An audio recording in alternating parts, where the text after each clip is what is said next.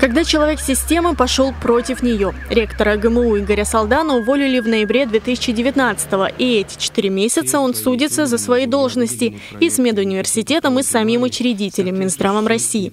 На последнем заседании, наконец, выступает его представитель и разбивает доводы защиты о том, что Салдан был не в курсе увольнения. Будь так, больничный лист сыграл бы в пользу восстановления.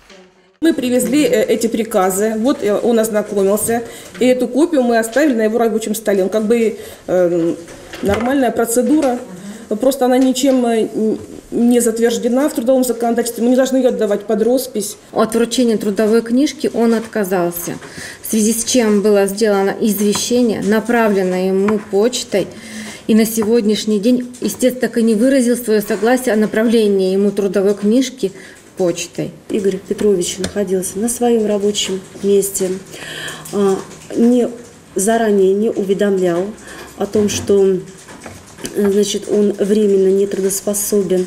Ну и, соответственно, работодатель за неуведомление он не может нести какие-то последствия.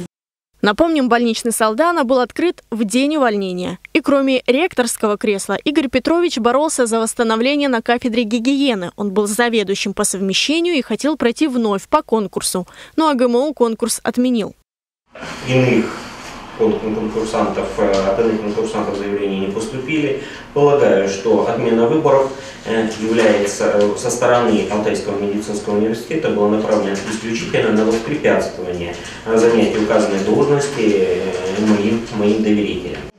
С чем не согласилась прокурор? Представители ГМО пояснили необоснованность претензий Салдана. Требовать восстановления он мог, будучи исполняющим обязанности, но контракт с вузом у него истек 30 января.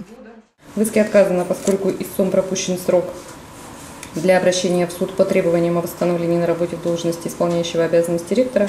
По остальным требованиям оснований для удовлетворения их суд не нашел, поскольку все действия ответчиков министерства и университета соответствовали требованиям закона.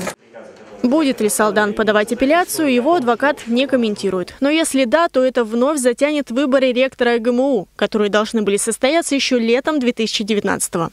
Сейчас у вуза только один утвержденный кандидат на этот пост, исполняющий обязанности ректора Ирина Шереметьева. Анастасия Драган, Александр Антропов. День с толком.